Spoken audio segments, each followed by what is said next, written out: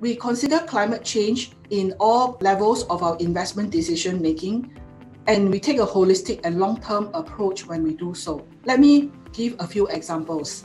First, in strategic asset allocation, we look at how capital market assumptions are affected by climate change related drivers, as well as in different climate scenarios. This long term external environment assessment, as well as scenario analysis, form critical building blocks in our asset allocation process.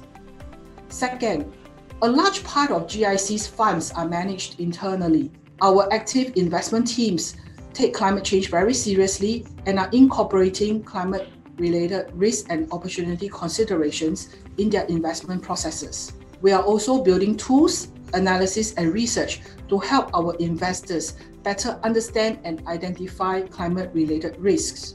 One example is the carbon dashboard that we have developed. Investors could see what is the carbon intensity of each company they are evaluating and compare that to their peers.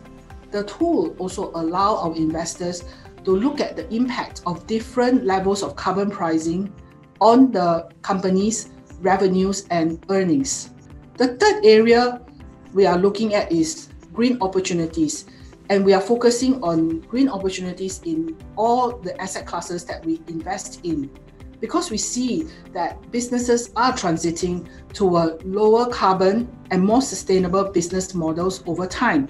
We believe that companies with stronger sustainability practices will be able to generate better risk adjusted returns over the long term, and that this relationship between sustainability and financial returns will strengthen over time.